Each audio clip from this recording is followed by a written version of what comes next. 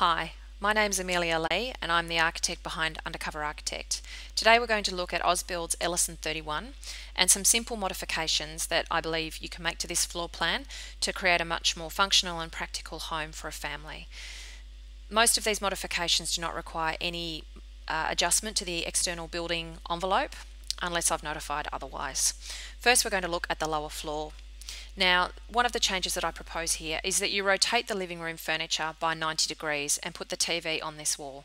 In the Ausbuild plan, the TV is located here and the wall is actually along this line. And they have the furniture so that there's a lounge here looking at the TV and then another lounge here. The lounge here is pulled off the door so that you can get in behind it because really it'll be a large piece of furniture because you'll be wanting to relax there to look at the TV and so it means that you'll actually you won't be able to put it up against the glazing. What I'm proposing here instead is that if you rotate it 90 degrees and you put the TV on this wall you then adjust the windows on this wall to be able to put a TV unit there or wall mounted TV.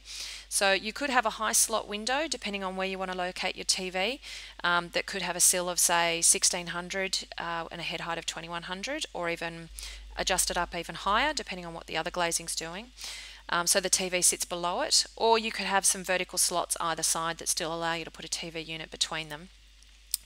Uh, this means that you can then put your main sofa over this side looking directly at the TV and you can put another sofa on this wall and some smaller chairs closer up against the glazing or you could put an L-shaped sofa through here.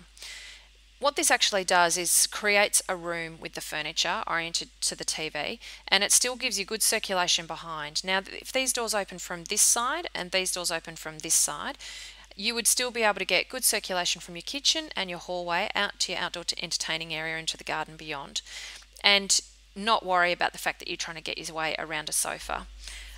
By reorienting the furniture this way and your TV on this wall, it does a few things. It gives us the opportunity to be able to watch the TV from the kitchen space.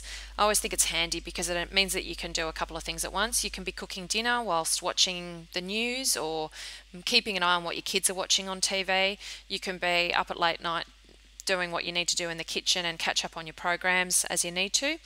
And by reorienting the furniture this way, it also gives us the opportunity to push this wall across a little bit, make this room slightly narrower. As I said, the Ausbuild wall was down on this line. And what I've done here is give 300 millimeters depth of storage that's accessed by these spaces. Now 300 millimeters depth is the depth of a bookshelf so it will let you sit uh, an A4 folder you can sit a lot of equipment you can put school bags homework folders um, your swim gear, all of those kinds of bits and pieces, any work paraphernalia. What this area does is it gives you a what I like to call a homecoming dumping ground. So you arrive home in your car or through the front door, and you've got somewhere that you can put your stuff that's out of the way, um, that doesn't require you coming into the kitchen and putting it down there. So mail, your bags, the kids' bags, all those types of things. If you wanted to completely privatise it, you could look at adding a cavity slider door there to close it off but ideally, it just means that there's a space that's out of the way that can be a, a messy zone for organising all of those bits and pieces. It also gives this 300 millimeters depth of extra storage in your laundry space, which I think is super handy for keeping things like your cleaning equipment and that kind of stuff that you don't necessarily want um, in your kitchen and able to be accessed by little hands. You can keep it up high. You can also put other bits and pieces of messy shoes, gum boots, those kinds of things in there. The stuff that you know um, is always better stored in your laundry.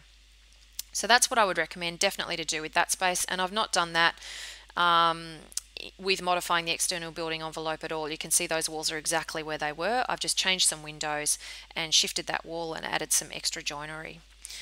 What I propose with the garage is that if possible you try and your lot width permits that you change the external walls. Now this will require some modification of the external build external building envelope, ideally by pushing it out to the side or alternatively you could push it forward if your street setback allows for it.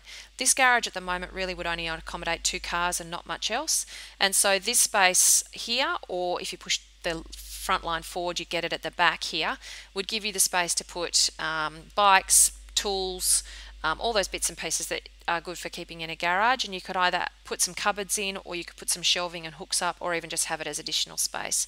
It just gives you that functionality uh, to get some extra storage into your garage space for all those bits and pieces that you don't want to just have lying around in the garden or inside the house. The other amendment I would propose making to this room is to add some double cavity sliding doors to this theatre space. This theatre room is really, uh, it's an additional bedroom for guests uh, or it's a study. It's not really a significantly sized living space. Um, but it could function perfectly well as a home office or as a kids' playroom with lots of toys or as somewhere where the kids go to watch their computer games, play their computer games and watch their movies. The ability for that to function really well will rely a lot on you being able to provide some acoustic privacy and some visual privacy. So these doors, if you uh, can imagine, you'd be able to then close them off, not worry about people coming in and what they can see in through these doors or what they can hear. And it'll just give that space much needed extra functionality. And that's the lower floor plan and the modifications I would propose that you make to the Ellison 31. Next, we'll look at the upper floor.